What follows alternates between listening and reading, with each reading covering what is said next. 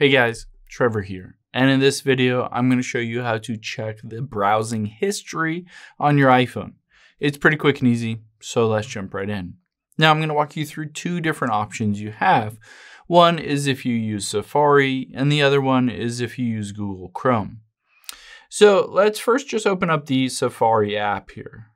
And if you wanted to go back in time to see the history, you can tap on the little book icon at the very bottom right here.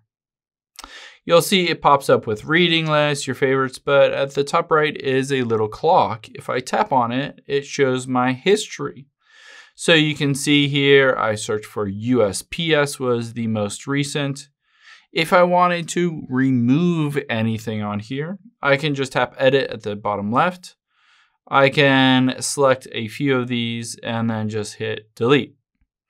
Or of course, I can just remove all of them if I wanted to as well.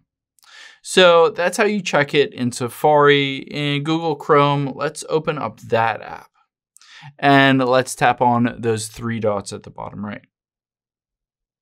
At the very top here, you're going to look for history. So if you don't see it, you may need to scroll all the way over but there is history, so we'll just tap on it to open it up. Again, same as Safari, you can hit clear browsing data at the very bottom left, and you can choose the time range, the browsing history, cookies, cache, all that stuff. And let's just hit clear browsing data at the very bottom, and that will remove all of it. Now to remove everything from Safari, the easiest way is just to do it into your settings. So let's go into settings and we'll just scroll down until we get to Safari and tap on that. And again, scroll down and you can see clear history and website data right here.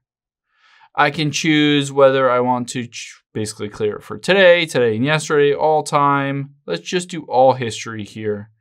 And I want to close all of my tabs here. No, let's not close all the tabs.